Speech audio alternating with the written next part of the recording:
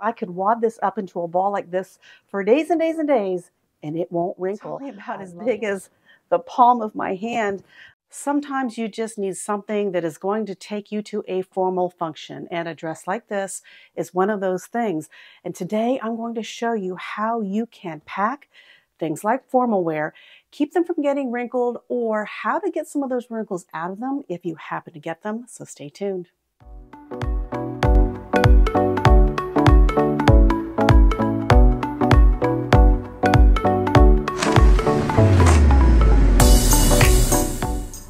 Right, the number one thing for me is when I'm looking for clothing to take on my trip, whether it's formal like this or even a little less, less formal, a little more casual, is the type of material that it's made out of.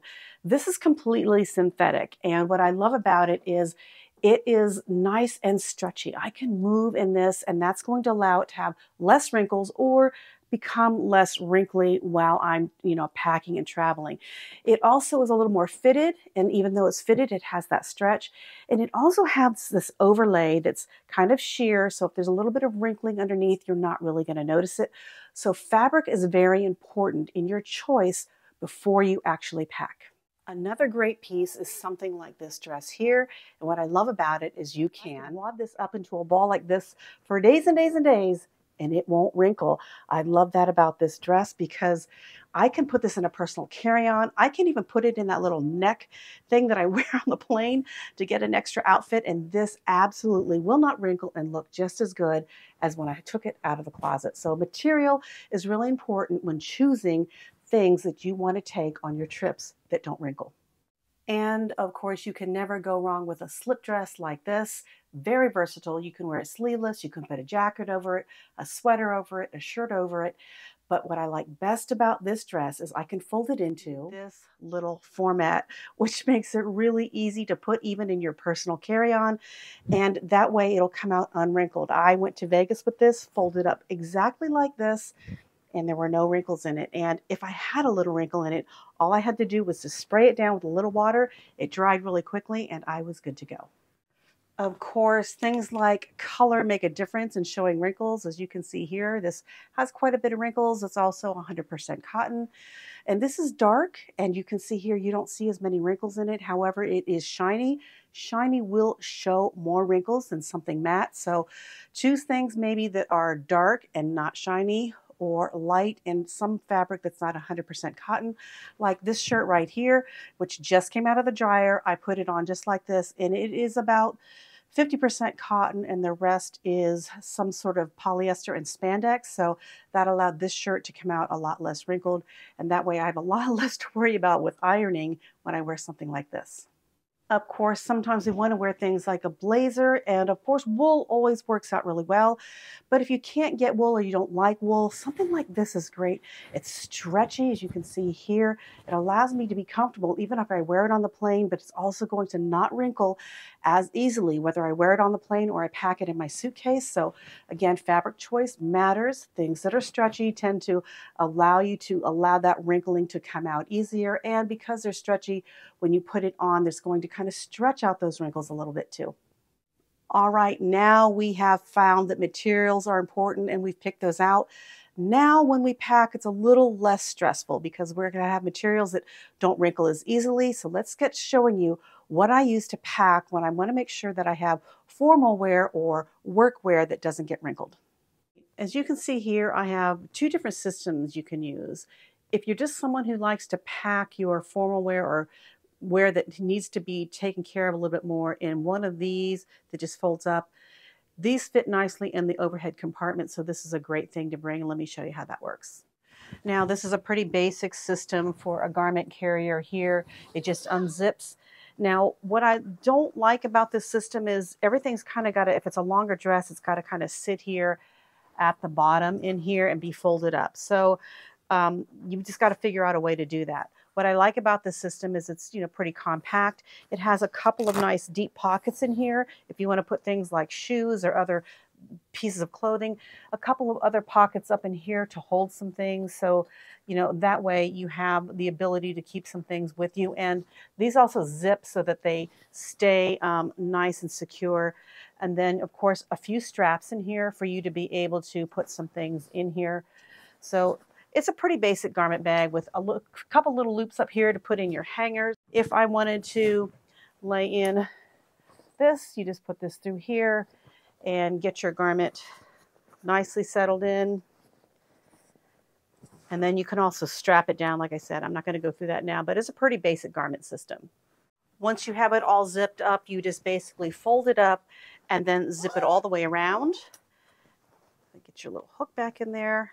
And that way, this becomes something you can carry just like this onto the plane. And then when you want to put it in the overhead luggage, you're going to fold it one more time, just like this. And this way it'll fit into the overhead bin nicely, but it does give you a little extra fold in here while you're flying. All right, this next system is a actual piece of carry-on luggage. It has a trolley handle and wheels. Looks like a standard piece of luggage with all the pockets here, but when I open it, as you can see, it looks different and it starts to turn into a garment carrier here. So I like this. It also has these pockets that are removable, but as you can see, if you want to put something in like your iron or your little laundry room in a bag, that works great. And it has a system here that allows you to hook in all of your stuff and set it down in here. As you can see, this acts as a standard garment bag here and allowing me to put things in nicely here and then get things set up and fold them over. And once I have everything in that I need, it has this liner that folds over right like this and zips up. And this zips up to keep everything nice and protected. Now, as I lift this, the extra garments that are here kind of lay like this. And this gives me a strap then to just keep everything in place. And then I can fold this up right into this here. And I'll just fold that over and put that in and that's ready to go. Once you flip your, close your garment bag, there's a whole nother set of storage compartments here. A small compartment here, and then a larger compartment here that is going to allow you to put in some um, packing cubes, and then a whole nother compartment here. It has a waterproof pocket here, and then mesh here, and a whole set area here to put in more packing cubes or curling irons, anything else that you want to have, or more clothing. So this is actually a really great system. If you're someone who travels for work a lot, this is a great system. There's even a tiny little zipper pouch here to put some little things in. I keep my little air tag in there just so I know where everything is, all in this little suitcase. So you've chosen your materials wisely, you've chosen your luggage wisely, and you've packed well, but you still have some wrinkles and you need to get them out. What do you do? Well, I have a few options, so let's go through those. My first option is this, which is my kind of laundry room in a bag that I take on almost all of my trips because it has things like hangers and stain remover and things like that. But one of the most important things that I keep in here is a teeny tiny little spray bottle like this because I can put some water in it and spritz things down with a little water. And generally with the, a lot of those fabrics I showed you, as long as you spritz them with a little water, let them hang for a little bit, they dry quickly and they'll have a lot less wrinkles. And that way I have a way to get wrinkles out of almost everything that I bring along with me. Now I always bring a little, you know, folding hanger with me, but sometimes I bring a hanger like this, which is a blow up hanger. So this hanger blows up so you have some nice rounded edges rather than pokey edges. On some of your delicates, you know, you may not want those pokey edges. This works out great. And as you can see, that folded up really flat. Just make sure you wipe the lipstick off of where you blew it up so it doesn't get on your clothing. I don't generally travel with an iron because I, I, don't have things that get that wrinkled. But if I do something, a shirt that I want for work, or David's coming with me and I need to iron his shirt, or he needs to iron his shirt, I do bring something like this, this little tiny iron right here. As you can see, it's only about as big as the palm of my hand, um, it has little handles here so that I can iron a little point to get up into collars and things like that. It's dual voltage, so I'll be able to use it in the US and in Europe. What it doesn't have are two things. It does not have a temperature control and it does not have any sort of steam option. So it's just something, like I said, just to get wrinkles out. You'd have to be careful about how you use it on certain materials, but on things that are cotton or wool, these will probably work really well. And if you want to go ahead and steam spray something, just take that little spritzer bottle that's in your little laundry kit in a bag, spray down your um, material, and then just go ahead and iron. And I just love the small footprint of this. So this is a great thing to have. Again, if you are going on a cruise, this is something that you don't want to bring. They're not going to allow you to bring this on a cruise. They don't allow any sort of um, steamer or heaters or anything like that or irons to be on the cruise because of fire danger. So just check with your cruise line. Most do not allow this. But if you're not cruising, this is a great thing to have. Another great thing I bring is a steamer because I don't generally iron but sometimes I want to steam some things out and this works great.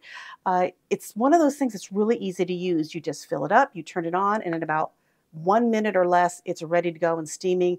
So I love this. It's not any bigger, as you can see here, than maybe a curling iron or a flat iron. A great thing to have if you have a lot of articles of clothing that you think might get wrinkled on your trip. This is one of those things to take with you. Just remember, if you are doing carry-on only to empty out all that water from your steamer before you fly. And another option is a flat iron. And I have occasionally used this on my clothing to actually get, you know, like a wrinkle out of something. If you just kind of put the fabric between it and, and kind of go through it, it'll help, you know, get some wrinkles out. You, mostly things like uh, t-shirts or, you know, shirts like this. I can even take this and put it I needed to on a collar and, and get it to, you know, get some of the wrinkles out of it. So worst case scenario, they will allow you to bring this onto a cruise ship. All right, what did I miss? I know there are experienced travelers out there who can tell me these are our favorite ways of either not wrinkling, de-wrinkling our clothing. Put those in the comments. I'd like to know what are your favorite ways to make sure you look nice and crisp on your travel adventures. Well, I've got to continue packing. So in the meantime, remember to juice life, drink the joy, keep life simple. Don't get your life all wrinkled up. I'll see you guys in the next video. Bye. I think this has a leak. Oh, it's not closed. It's my fault. This is my most expensive piece of jewelry. Lovely. Here that if you want to stick maybe it, what's in here? Oh. So now that it's closed, I have a pocket here. Oh, those are David's clothes. Why are they in there? Oh, this is still not unpacked from our trip. Oh my gosh. I was wondering where that stuff was. Oh my gosh. oh my goodness, honey. I love you, but you need to unpack better.